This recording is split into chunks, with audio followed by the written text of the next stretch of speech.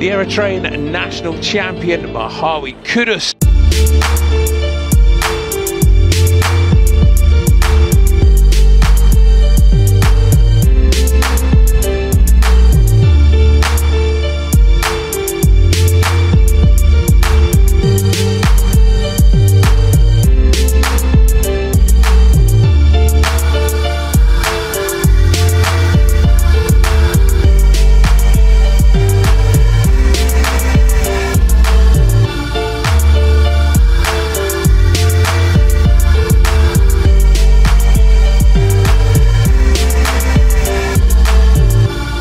The Eritrean national champion Merhawi Kudus.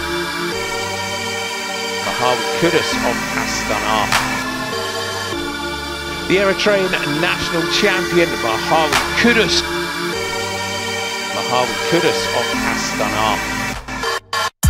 Vacation riders into position with Ben O'Connor, Dimension Data well to the front, as was Merhawi Kudus of Astana. The slopes took their toll and the group was whittled down to a select few and it would be Valerio Conti of UAE Team Emirates who would be the first rider to go on the tack.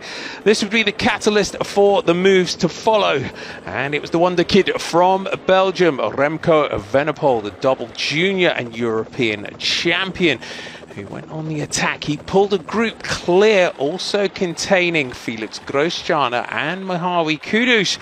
But the young Belgium at just 19 years old was starting to build an advantage, and it was Conti who reacted. Many riders were chasing behind. The trio would make their way back up to the Belgian with just 3.1 kilometers to go to the summit. The temperature's evident in the breath of the riders. Großschartner, the rider with the most to gain, he was the virtual leader on the road. The Eritrean national champion Merhawi Kudus put in an attack on the front, the recent winner of the Tour of Rwanda.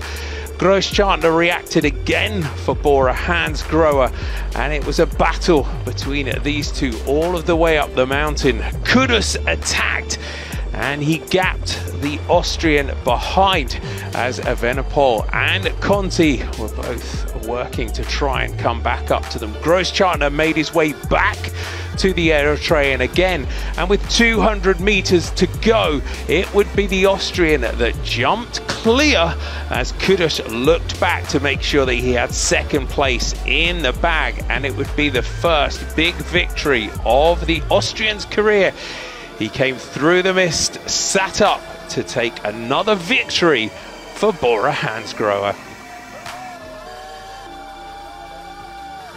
Kudus was overhauled into the finish by Valerio Conti right on the line. He came through to take second, but the day belonged to the Austrian.